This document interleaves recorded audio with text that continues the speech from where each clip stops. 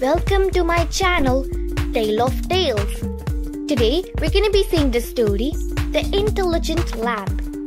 The shepherd brought the flock of sheep out in the morning and were taken back during sunset.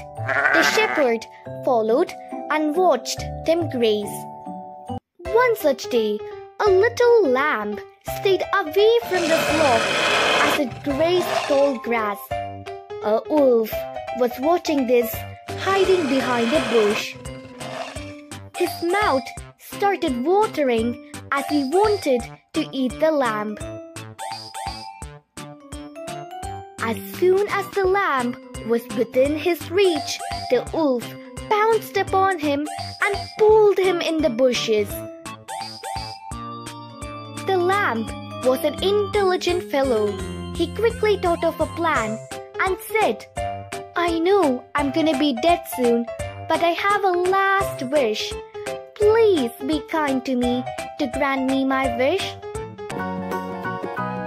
The wolf got curious and asked, What is your wish? Lamb replied, I enjoy both listening to songs and watching your dance performance.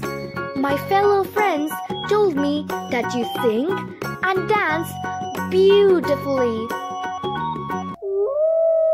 Agreed and sang a song aloud and danced. When the wolf stopped singing, the lamb clapped in appreciation to Wolf's song and said, What a beautiful voice you have. I wish you could sing one more song for me. Oh, am I singing good? The wolf thought to himself. Hearing the accolades from the lamb, the wolf felt very happy. He started to sing at the top of his voice. The shepherd was looking for the missing lamb. When he heard the wolf singing, the shepherd went and hit the wolf with his stick. The wolf was hurt and ran away.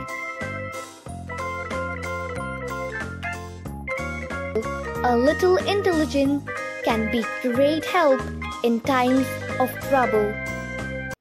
Thanks for watching everyone.